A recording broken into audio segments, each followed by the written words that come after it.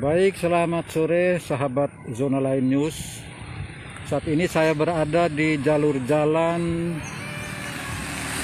uh, Bok Soa, tepatnya di sekitar Kelurahan Olekile.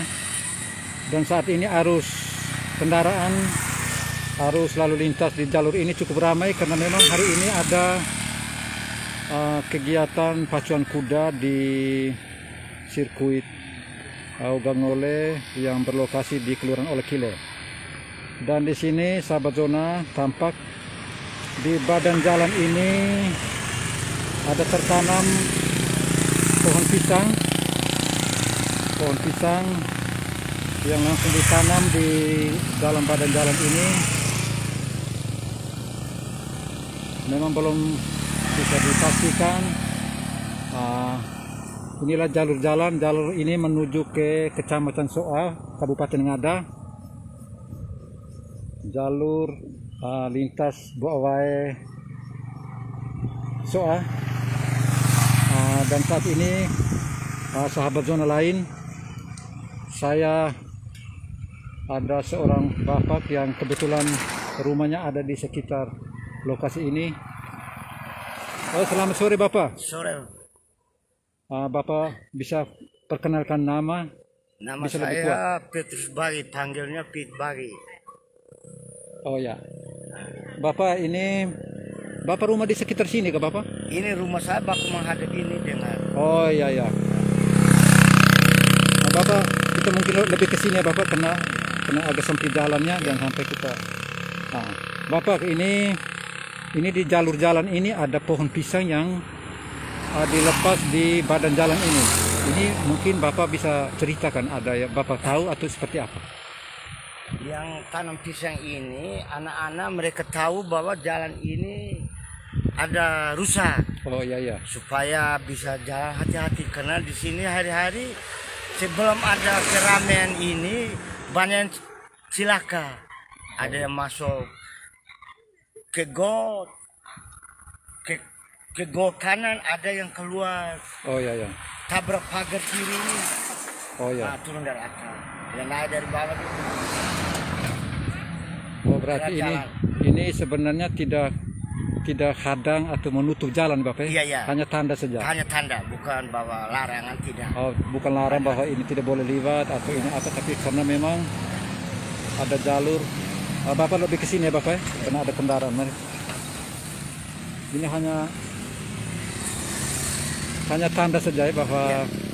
supaya hati-hati karena jalan sepanjang jalur ini memang sempit dan banyak lubang ya Bapak. iya iya Banyak rusak. iya. Bapak mungkin bisa ceritakan, mungkin selama ini ada pernah ada kecelakaan kan sepanjang jalur ini? Ada jatuh motor kah atau jadi yang waktu pembuka lari kuda di Kedagaka itu hari Rabu itu cilaka mati memang oh ya. ah itu pas hari pembukaan hari Rabu sehingga sekarang tidak ada larang ini bisa tahu mati di rumah sakit Wawai Oh ya. Tapi selain yang kecelakaan Ah. yang ada meninggal yang- memang ada juga yang mungkin Ah, hanya hanya luka. ah, hanya luka-luka itu terlalu dua tiga orang jadi saya tidak bisa ini saya yang Tidak. kasih bukti karena yang sudah cilaka yang sudah mati memang waktu Iya. pembukaan lari kuda itu Eh Bapak tadi nama siapa tadi Bapak? Panggilan. Pit Bari Bapak Pide. ya ya Oh, Bapak Pide, mungkin ada harapan. ya Harapan Bapak bagaimana? ya harapan saya ya mungkin dengan larangan bukan larangan Iya, iya. dengan tanda ini supaya dari bapak pemerintah bisa perhati karena jalan sempit ini Oh ya ya. ah,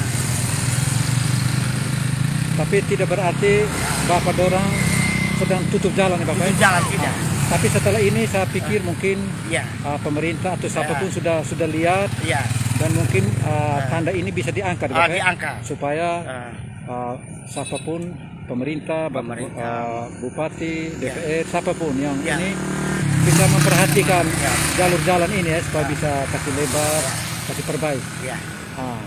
Bapak terima kasih banyak untuk waktunya. Selamat sore Bapak. Ya. Baik pemirsa zona lain, ah, demikianlah laporan dari Nagekeo ah, kondisi jalan yang ada di sini di jalur Boawai Soa dan memang jalurnya masih terbilang sempit. Ah, Ada kegiatan-kegiatan atau momen-momen seperti ini memang sangat ah, banyak memicu kecelakaan. Dan tadi disampaikan oleh Bapak tadi bahwa sebenarnya tidak tidak ah, menutup, hanya memberi tanda saja memberi tanda supaya para pengguna jalan di sini berhati-hati uh, berhati-hati karena jalan di sini banyak yang lubang Uh, untuk itu pengguna jalan baik kendaraan roda 2, roda 4 lebih berhati-hati. Terima kasih, selamat sore untuk seluruh pemirsa.